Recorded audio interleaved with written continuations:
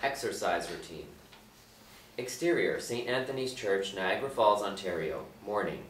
A priest, Pastor Nicholas, Friar Nick, Rye, 50, affable, strolls past the church and enters the attached rectory.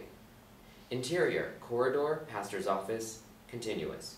Friar Nick's face falls when he sees his receptionist, Jeannie, 38, torn clothes, mussed hair, bracing against a door marked pastor's office. Demonic shrieking can be heard within. Oh, Jeannie. Oh, not again. Another 12 cases, Friar Nick. You security recruits over at the falls. Couldn't get to the holy water in my desk, but I, I pulled this off the wall. She hands him a crucifix and moves quickly aside. Friar Nick steels himself and opens the door. He is set upon by a possessed woman, mad eyes, wild hair. He thrusts the cross at her. She hisses, recoils, but Friar Nick is soon surrounded by more possessed people. He waves the crucifix wildly. Ecce crucem Domini, fugit parte adversae. He dashes to the reception desk as the demons scatter. Interior hallway. Adventure under the falls attraction. Later. Niagara Falls roars overhead.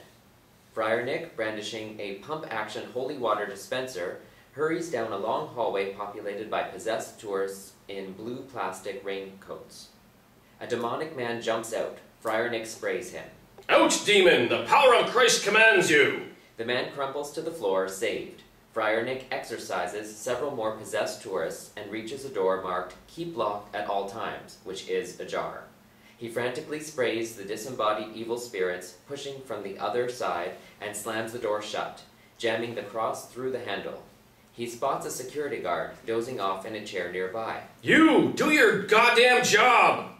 The guard sputters awake and watches, confused, as Friar Nick stalks off. Then a sinister smile crosses his face. I will, Padre. I will.